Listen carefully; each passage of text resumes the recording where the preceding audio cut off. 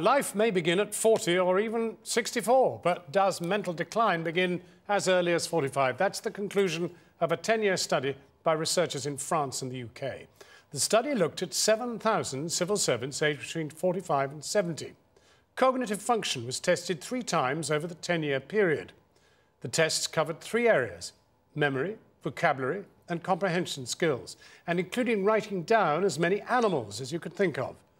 Oldest did fare the worst. Men aged between 65 and 70 declined by nearly 10% over the 10-year period.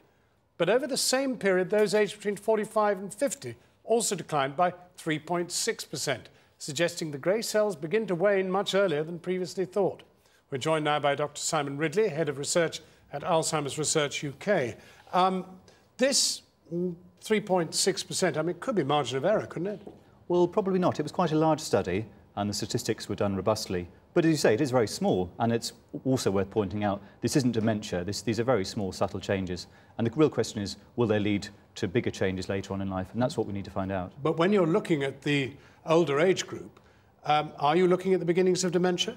Possibly, um, but again, I think we need to see more research over time because these longitudinal studies, is what they're as they're called, take a very long time and they're very complicated. And I think also this was with quite a, a select uh, um, population, and we would need to see this repeated in a much wider, more representative population group. Yeah, why did you choose civil servants? They're a sort of particular breed. well, I mean, the study was initiated to look at a number of different health outcomes over time and uh, this, this seemed like a good group at the time. But, and, but, and are men in worse shape than women? Uh, they do fare slightly worse uh, on, on this, particularly the older age group. But again, the, these are subtle changes. What about combating it? I mean, is there any evidence that anything does any good?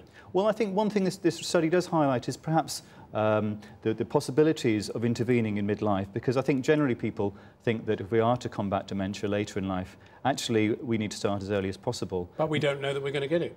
Well, we don't, and again, that's why we need more research to try and pick up the earliest possible signs. We need to see whether subtle changes in cognition in midlife will translate to dementia. They may not, of course, in many people. So we need to look at other markers of... But then are you suggesting everybody should do something in case they do?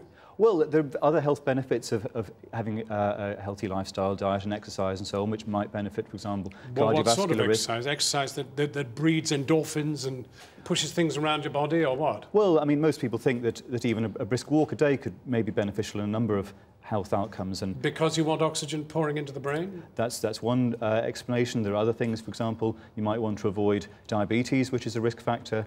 Um, so, so there are various ways. This, dementia is very complicated, and so we need to think of all the factors which, which uh, occur in lifetime over decades, and perhaps looking even further back than we imagined originally. Dr. Simon Ridley, thank you very much indeed thank for you. coming in.